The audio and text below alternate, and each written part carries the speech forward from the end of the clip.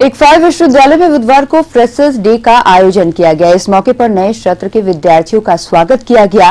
विद्यार्थियों द्वारा सांस्कृतिक कार्यक्रम प्रस्तुत किया गया। कुलपति प्रोफेसर आर एस राव ने कहा है कि वर्तमान वर्ष में नई तकनीकी के साथ कैरियर विकास पर पूर्णकालीन कोर्स पेश किए गए हैं और विद्यार्थियों का मॉनिटरिंग सिस्टम भी लागू किया गया। छात्रों को विश्वविद्यालय के नियम कानून के बारे में बताया गया। आज हमारे यूनिवर्सिटी में फ्रेशर्स डे मनाया जा रहा है।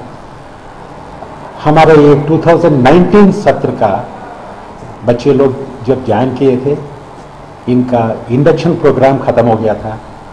इनका दो हफ़्ते का इंडक्शन प्रोग्राम हमको बनाए थे। ये साल इसका इंडक्शन प्रोग्राम में हम बहुत बदलाव लेके आए थे। हम तो कामयाबी बनाने के वास्ते हमारा यूनिवर्सिटी जो प्रयास कर रहे हैं, जो पहलू उठा रहे हैं सभी चीज़ हम बच्चे को बताने वाले हैं। और इसमें सभी बच्चे नए होते हैं पुराने वाले होते हैं। ये सभी बच्चे आपका जो स्किल्स होते हैं इंटरेस्ट होते हैं कल्चर होते हैं सभी चीज़। आज वो सभी चीज़ दिखा